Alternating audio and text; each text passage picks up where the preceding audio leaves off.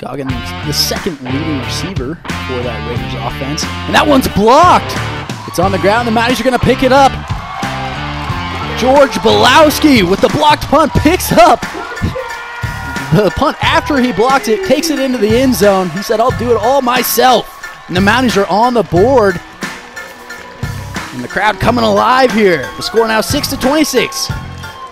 As Belowski blocks the punt, takes it in himself. You watch on the replay here. Turned around, wasn't where sitting right below his feet, picks it up, gets into the end zone.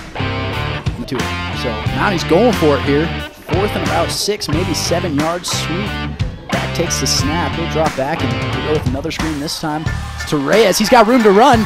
Nobody in front of him, and he's going to make it to the end zone. That's a touchdown. And the Mounties add on now. It's now 13 26. Eastern Oregon showing a lot of life here in the third quarter. Great play there.